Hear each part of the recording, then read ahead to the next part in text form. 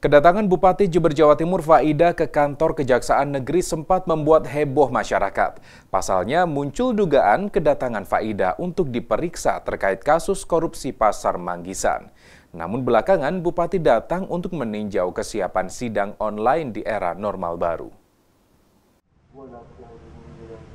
Hal tersebut ditegaskan oleh Kepala Seksi Tindak Pidana Khusus Setio Adi Wicaksono kepada awak media di kantor Kejaksaan Negeri Jember pada Kamis malam.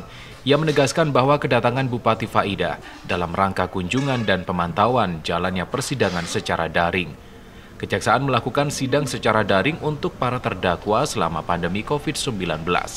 Bupati yang sekaligus ketua tim gugus tugas datang untuk memeriksa penerapan protokol kesehatan pada terdakwa dan petugas.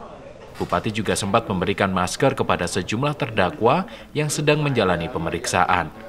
Tidak ada pemeriksaan apa pun terkait pasar Manggisan. Beliau datang ke sini menengok tadi persidangan secara online dan uh, mendam apa bahwasanya memang ada pendampingan kan sama kami secara MOU juga dengan bidang datun. Jadi ya komunikasi konsultasi aja.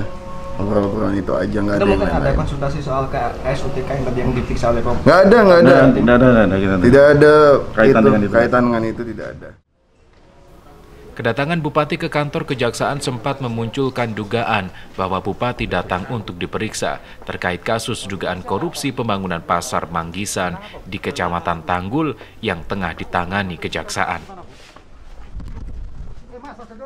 Bupati Faida datang ke kejaksaan dengan mobil pribadi dan berada di kantor kejaksaan selama dua setengah jam lebih. Saat keluar ruangan, Bupati enggan memberikan komentar ke awak media. Tim Liputan Kompas TV Jember, Jawa Timur.